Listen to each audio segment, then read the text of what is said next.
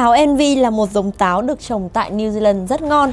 Nhưng liệu táo Envy có phải là ngon nhất? Hãy để mình review cho các bạn một mẫu Envy nhưng không phải là táo mà là một mẫu laptop tới từ HP có mức giá chỉ hơn 20 triệu đồng. Không như táo Envy chỉ dùng để ăn, laptop HP Envy còn làm được nhiều hơn thế. Ví dụ như lên mạng xem những quả táo Envy khác với hình ảnh vô cùng sắc nét và chân thật, nhiều màn hình phủ gương 13 inch với bốn cạnh viền siêu mỏng và chất lượng cực tốt khi được trang bị tấm nền IPS với độ bao phủ màu sắc lên tới 99% giải màu sRGB, 89% giải màu Adobe RGB và 72% NTSC, khiến cho màu sắc trở nên đậm nét và màu đen cũng sâu hơn nhiều.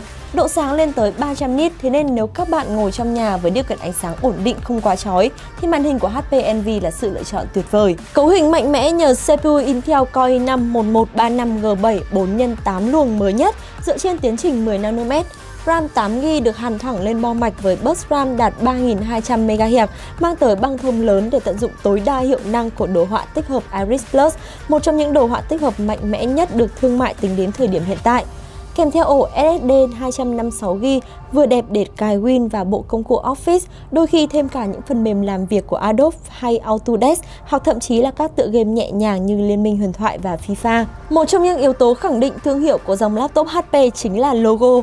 Logo của HP Envy đặt chính giữa với mặt lưng và điểm nhấn là chữ H và chữ P được cách điệu để nhìn đầu nào cũng ra được chữ HP. Và dĩ nhiên không thể thiếu sót được mức độ hoàn thiện sản phẩm rất tốt. Gần như toàn bộ máy được làm từ kim loại vô cùng chắc chắn với màu vàng sang trọng, tạo điểm nhấn ở mọi nơi khi các bạn mang mẫu laptop này tới. Khu vực bàn phím cũng được sơn màu vàng đồng nhất với máy. Cảm giác sử dụng bàn phím rất tốt, hành trình phím sâu, khoảng cách giữa các phím hợp lý, phím cực kỳ to nên hiện tượng bấm nhầm là không thể xảy ra. Cảm biến vân tay của máy nằm ngay trên khu vực bàn phím, ngay cạnh các phím điều hướng. Cảm biến vân tay trên chiếc HP Envy rất lớn và nhạy, thế nên dù có nhắm mắt thì các bạn cũng không thể nào bấm chuột được, cũng như là tiết kiệm rất nhiều thời gian khi mở máy, giúp cho người dùng có thể bảo mật được tốt hơn khi lưu trữ các tài liệu quan trọng. Ngay bên dưới là khu vực touchpad, sử dụng Synaptic Touchpad Driver nếu như các bạn thích thì hoàn toàn có thể cài đặt Precision Touchpad Driver để vuốt chạm đa điểm được thuận tiện hơn.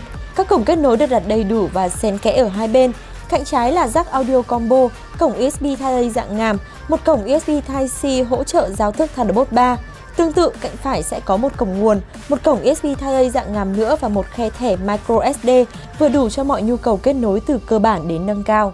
Một mẫu laptop Ultrabook như HP Envy được trang bị viên pin 3 cell 51Wh. Khi để độ sáng 50% và sử dụng để làm các công việc văn phòng thì vẫn trụ được một ngày làm việc. Tất nhiên, thời lượng pin này là để tham khảo vì nhu cầu sử dụng mỗi người là mỗi khác. Ở văn phòng nếu như trầm lắng quá thì cũng đừng lo, công nghệ âm thanh piano được tích hợp ngay trong loa của HP Envy sẽ giải quyết được vấn đề đó. Điều ngăn cản bạn nghe nhạc chỉ là Wi-Fi không ổn định để loát nhạc mà thôi. Thêm vào đó thì chính sách bảo hành cao cấp của HP với tên gọi là Premium Service hỗ trợ bảo hành lên đến 12 tháng, dịch vụ tổng đài hỗ trợ 24 trên 7, bảo hành thay thế linh kiện tại nhà hoàn toàn miễn phí cũng như là bảo hành giao nhận tại nhà miễn phí trên các tỉnh thành trên toàn quốc. Và cuối cùng nếu như các bạn quan tâm tới laptop HP NV13 thì đường link của sản phẩm mình sẽ để ngay dưới phần mô tả. Click vào để chọn mua cũng như nhận được bộ quà tặng bao gồm túi đựng laptop, chuột không dây, bộ vệ sinh laptop và không thể thiếu gói bảo hành 12 tháng và dịch vụ giao nhận tận nơi của HP. Đừng quên là like, share cũng như subscribe kênh youtube của An Phát Computer để không bỏ lỡ những video tiếp theo của chúng mình. Và hẹn gặp lại mọi người trong những video sau.